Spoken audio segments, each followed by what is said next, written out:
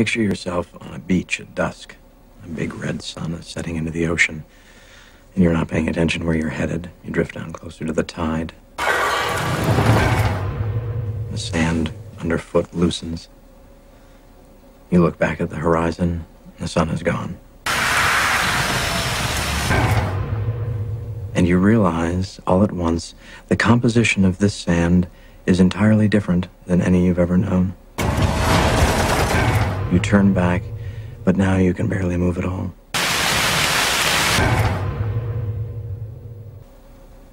It's too late.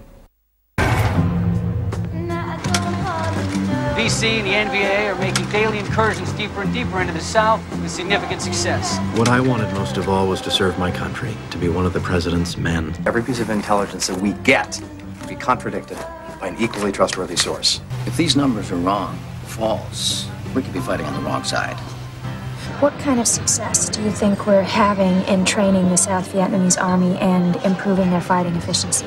About the same amount of success as I'm having asking you to dinner.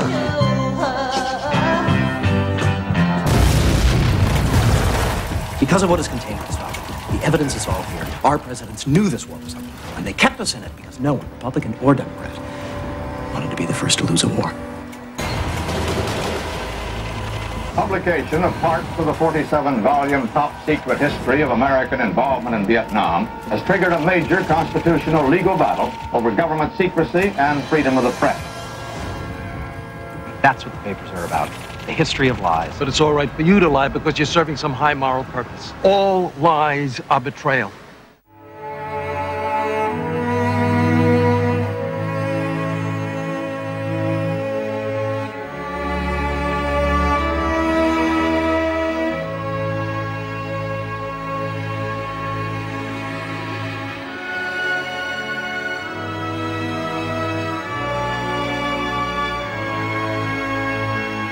I knew firsthand our prospects were hopeless, and I knew it was not going to end